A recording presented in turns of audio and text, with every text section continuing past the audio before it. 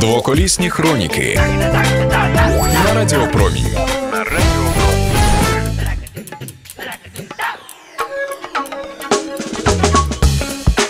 Доброго дня, друзі! Це двоколісні хроніки та я їх ведуча Ярина Квітка. Сьогодні продовжуємо розповідати про велопригоди у Таїланді, де ми з Володією і далі крутимо педалі велосипедів на шляху від України до Австралії у пошуках культури, цінностей, музики та особливостей народів, що відрізняються від нас з вами, українців. В дорозі записуємо пісні різних народів та натомість співаємо їм наших українських пісень, тим самим знайомлячи з культурою України. І звісно, про всю подорож знімаємо документальне кіно, аби в майбутньому всі ви могли його побачити. Цю програму ми записуємо безпосередньо у дорозі, тому не дивуйтесь, коли час від часу з'являтимуться звуки, що навколо нас. Команда сміливців з гурту Фолькнери проїде на велосипедах півсвіту від України до Австралії. Музиканти беруть мінімум речей, щоб отримати максимум емоцій. Вони відкриють Україну світу, і світ поділиться з ними своїми скарбами, традиціями, піснями, історіями. Вперед із двоколісними хроніками. Через тиждень після того, як потрапили до Таїланду, ми домчали до велетенського міста. У світі за своїми розмірами воно займає 22 місце. Із власних відчуттів скажу, що воно справді гігантське і дуже шумне. Тайською мовою це місто називається Кхунгпхет. А під яким іменем його знає увесь світ, скоро довідаємось. Що цікаво, повна назва цього велета складається аж з 21 слова. Тайською мовою не скажу, бо не здатна навіть вимовити ті слова. А от переклад такий: місто Янголів, велике місто, місто вічний скарб, неприступне місто Бога Індри, велична столиця світу, обдарована дев'ятьма дорогоцінними каменями, щасливе місто, сповнений достатку грандіозний королівський палац, що нагадує божественну обитель, де царює перевтілений Бог, місто подароване Індрою і побудоване вішвакармою. До речі, тайські діти вчать повну назву цього міста в школі. Втім, мало хто в змозі її розтлумачити, оскільки більшість її слів застарілі і в сучасній тайській мові не вживаються. Я не знаю, як для кого, але для мене тайська мова дуже складна. Одне слово може вимовлятися різними інтонаціями і мати різне значення. Я можу наразі лише запам'ятати копхунь, що означає дякую. Ну що ж, давайте дізнаватися, куди ж ми вже домчали на наших велосипедах, і зробимо ми це безпосередньо у звуковій атмосфері цього міста. Звуки іншої країни.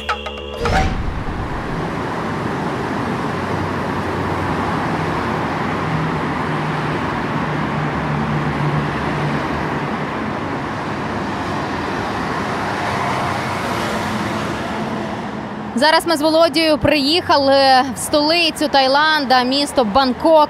Як і подобає будь-якій столиці світу, це місто шумне, велетенське, з великою купою трафіку, і завжди треба бути обережними, особливо якщо ви їдете на велосипедах із таким вантажем, як ми. Наразі ми вже подолали 10 кілометрів.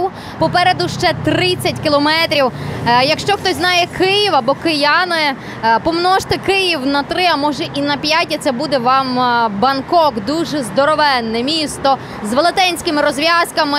Хто знає дорожню розв'язку на видобичах, то помножте її, напевно, на разів 10, то ця на в разів 10 більше, ніж видобицька. Спека шалена, трафік шалений, тож нам весело. Побачимо, що цікаве для нас приготував Бангкок. Ну і все, що буде з нами тут відбуватися, ми вам розкажемо.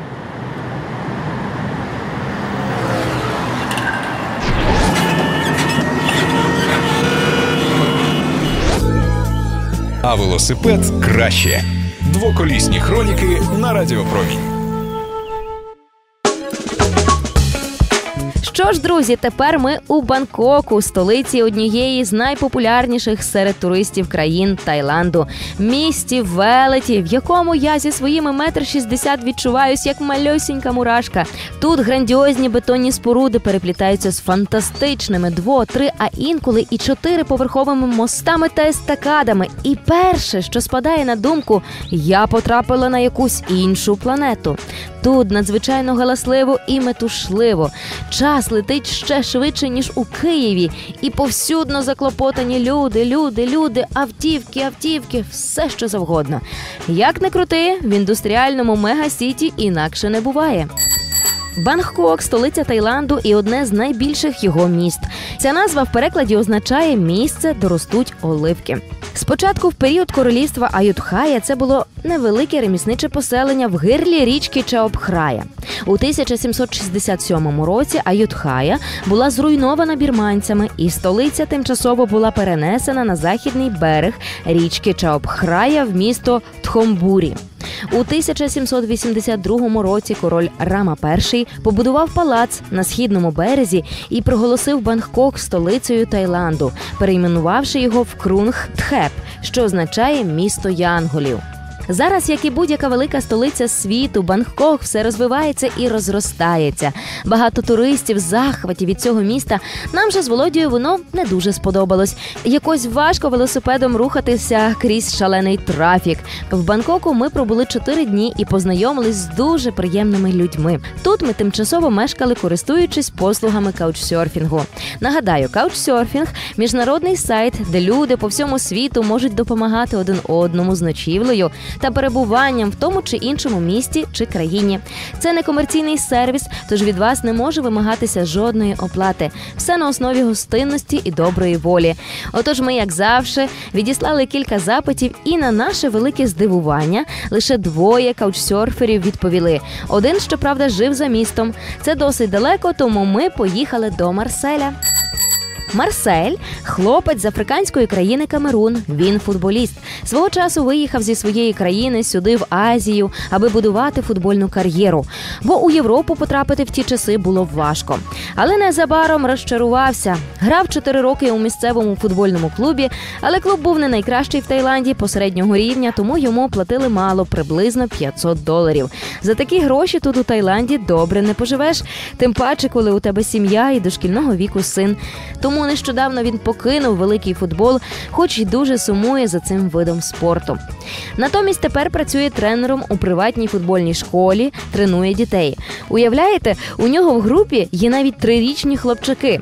Але тепер йому також не так то й легко, бо треба щороку платити шалені кошти за продовження візи для перебування в Таїланді. Каже, що за це платить приблизно півтори тисячі доларів.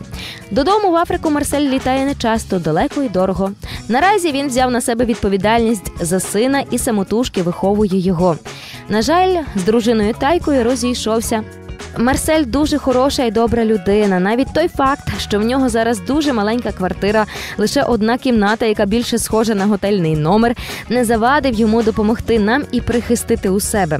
Отож, нас п'ятеро два дні були в одній маленькій кімнаті. Ми з Володією, Марсель, його чотирирічний син та подруга Тайка. Хоч і трохи тісно, проте дуже затишно.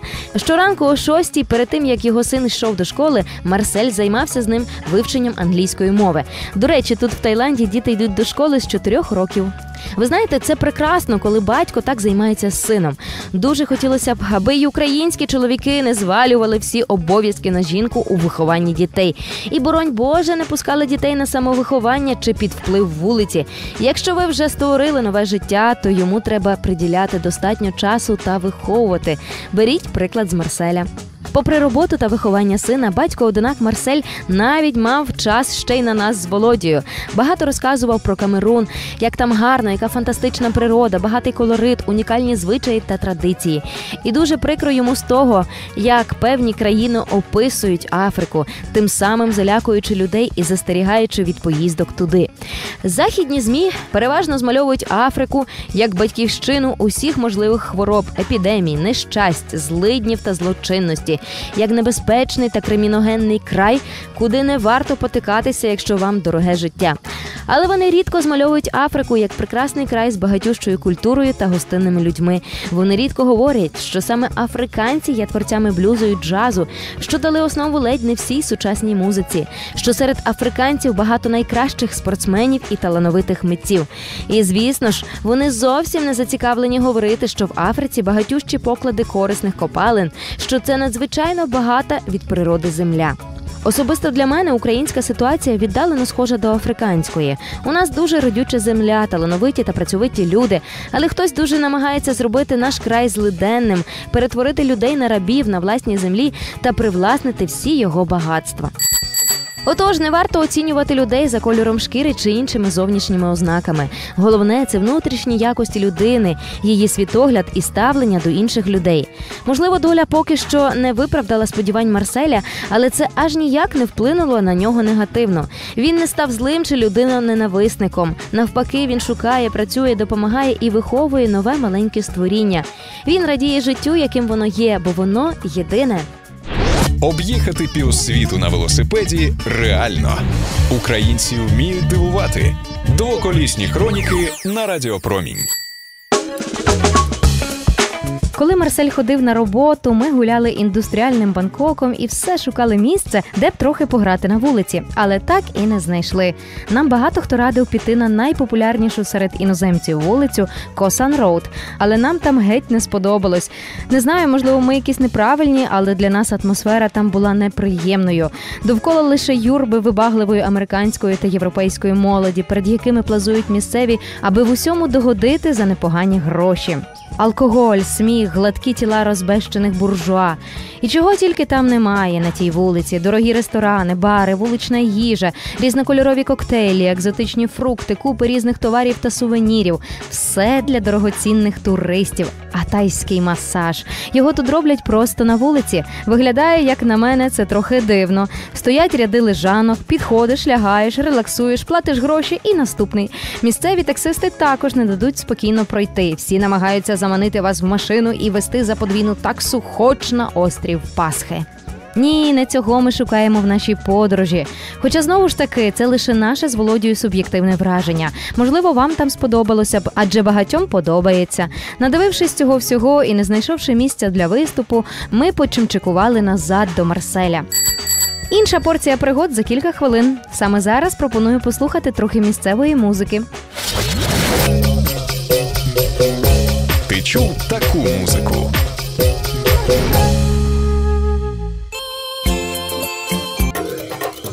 Слухай, як співають різні народи. І мандруй з двоколісними хроніками.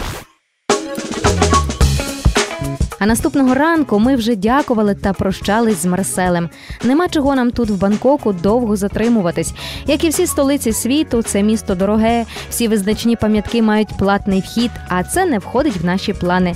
Тому знову сіли на велосипеди і поїхали далі на південь. Виїжджали з Бангкока важко. Трафік, шум, місто просто таки тисло на голову. Варто віддати належне тайцям. На дорогах вони поводяться досить організовано. Рух завжди впорядкований, без особливих порушень. Водії переважно чемні, принаймні з нами, іноземцями. На світлофорах зазвичай рушають лише дочекавшись зеленого, не підрізають і часто пропускають там, де і не мали б. Але попри те, у таких великих містах на велосипеді завжди потрібно бути дуже уважним та максимально сконцентрованим. За Бангкоком ми зупинились на ніч у ще одного каучсерфера Ама, який перед тим нам написав: Приїжджайте будь-коли. Тож ми приїхали до нього вже затемна. Він живе з мамою у приватному будинку з двома велетенськими собаками. Того вечора у його домі були ще кілька мандрівників з інших країн: пара з Чилі, дівчина з Франції та молодий каталонець, який автостопом їде до Нової Зеландії трохи попрацювати. Тож вечір, звісно, був веселий. Ми всі допізна багато говорили про свої мандрівки, ділились досвідом і розповідали кумедні історії. Особливо цікавими для нас були чилійці, які вісім місяців жили в Австралії. Вони там заробляли собі гроші на подальшу мандрівку. Багато корисної інформації ми отримали від них про цю дорогу країну. Тепер вже не так лячно буде туди їхати. Француженка теж розповідала, як закінчила університет у своїй країні і, знайшовши роботу на Філіппінах, подалась туди. Щоправда, була розчарована, бо зарплати там геть малі, але трохи таки собі щось заробила і тепер дорогою назад додому відвідує інші країни. Ця дівчина, як і каталонець, трохи, як то кажуть, тусовочні, тому після розмови поїхали на дискотеку у центр Бангкока. Ам 37-річний таєць, дуже добрий та привітний. Також творча натура, займається музикою. Він продюсує молодих місцевих музикантів та грає на гітарі. Його сім'я, як він сказав, працює на короля, дуже його любить та поважає. В їхній хаті багато портретів монарха та його сім'ї. Батько Ама, напевно, помер, а мати, незважаючи на літній вік, все ще їздить на роботу. Вона дуже порядна та інтелігентна жінка, любить свого сина і дозволяє йому приймати в себе одночасно багато іноземців іноземців. Тут у Ама ми вирішили трохи відпочити і попрати речі, тому залишились на дві ночі і цілий день. Вранці, після того як француженка повернулась з дискотеки та добряче відіспалась, раптом несподівано заявила, що у неї зникли гроші. Був невеличкий скандал, крики і сльози. Але нам всім було трохи смішно, бо чудово розуміли, що ніхто з нас цього не зробив би. А дівчина швидше за все розтратила їх на нічній гулянці, або ж там у неї хтось їх поцупив. Звісно, найнеприємніше в цій ситуації було Аму. Як він пізніше сказав, ця француженка так про це заявила, наче це він у неї вкрав ті гроші. Ох, він був і злий, готовий був її просто виставити за двері. Але потім ситуація якось налагодилась. А наступного ранку ми знову, як завжди, прокинулись о п'ятій, трохи поснідали, спакували всі свої речі, подякували Аму та його мамі за теплий прийом, осідлали наших залізних друзів і помчали далі по Таїланду на зустріч новим пригодам. Чи знайшли ми ті пригоди? Дізнаємось за тиждень о цій же порі на промені. Тож до зустрічі, друзі! Програму Двоколісні хроніки записали у Таїланді. Я її ведуча Ярина Квітка та звукорежисер Володимир Муляр. Візуально слідкувати за нашою велоекспедицією ви можете у мережі Facebook на сторінці Двоколісні хроніки, переглядати відео з подорожі на сайті YouTube на каналі проекту. Миру всім і не забувайте частіше сідати на велосипед.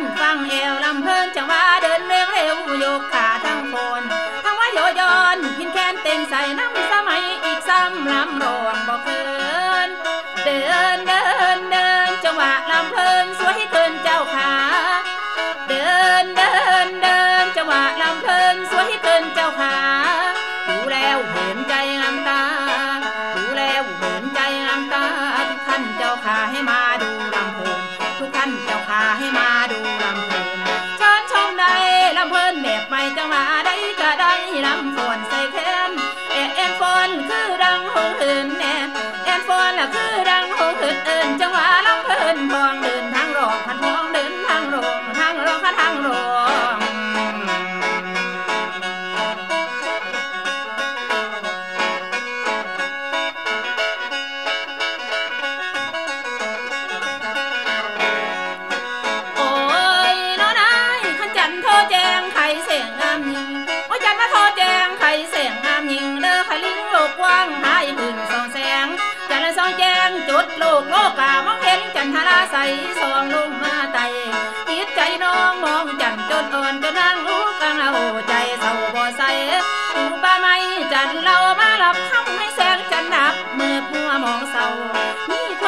เป็นเพลงรองมาจันเจ้าขาเตือนตาเตือนใจจันเจ้าขาเตือนตาเตือนใจมองเห็นไกลเดือนใสสวยเด่น จังหวะสายลมเย็นพัดยอดอ่อนระถวยใบต้องป่วยลมตีเปลืองปันใบต้องป่วยขลมตีเปลืองปันเปลืองปันและเปลืองปันแสงพระจันทร์ส่องจ้าถึงฟ้าส่งมาสุดขอบฟ้าตาซองมองหาวาสนาอีนางห้อยซ้ำพ่อเพียงนี้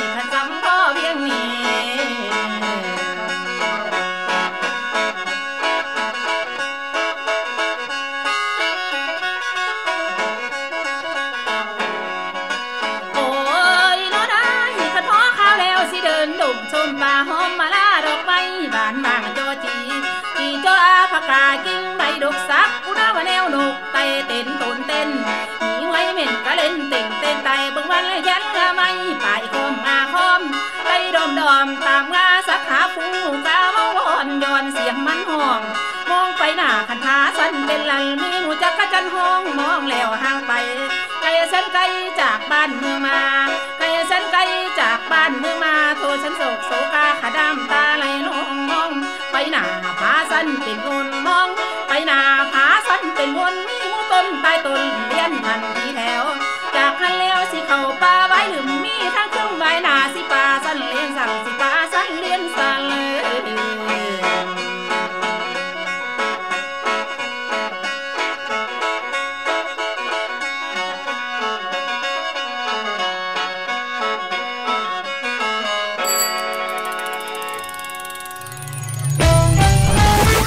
Двоколісні хроніки. Стежте за нами в ефірі Радіо Промінь. Далі буде.